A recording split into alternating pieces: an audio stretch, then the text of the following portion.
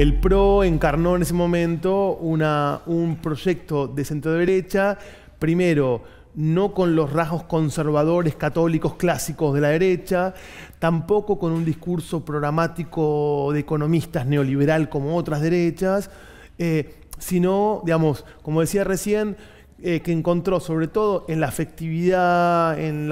eh, el lenguaje de la autoayuda y en, y en la promesa de eficiencia empatizando con la experiencia cotidiana, digamos, más como si querés vecinalista, encontró ahí formas de llegar a los electorados que eludía la discusión ideológica, esa conferencia que da Macri, donde dice, bueno, estas son las líneas para, esta, es mi hoja de ruta para los próximos dos años, es una cierta eh, novedad. Primero porque Macri por primera vez habla de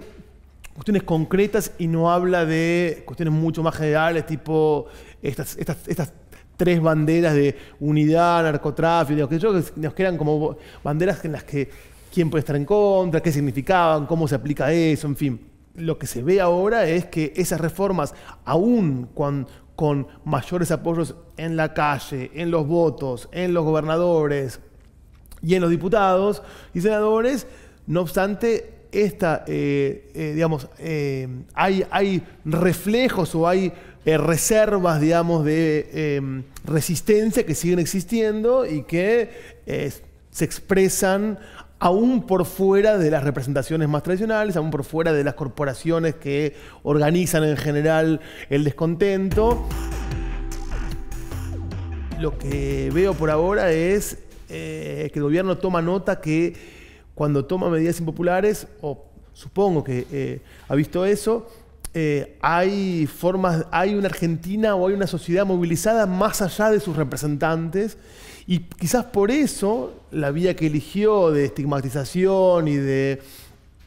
bastante eh, peligrosa, creo yo, de construir a los eh, manifestantes como antidemocráticos, lo que sea, es una forma de por ahora resolverlo rápido y decir, bueno, con esto saldamos la cuestión y después vemos cómo, sigue. Vos pensás que en Argentina es la primera vez que un gobierno con una agenda reformista pro mercado, y más ahora, eh, digamos,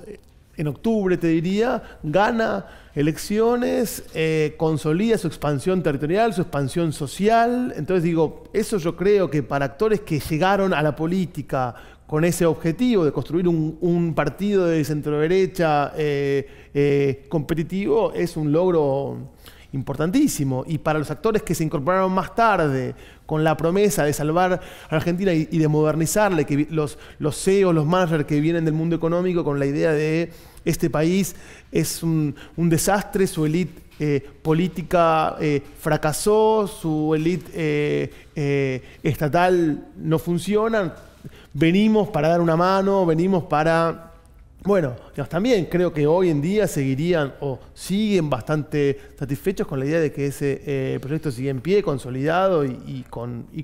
perspectivas para ellos de eh, eh, continuidad en el tiempo. ¿no?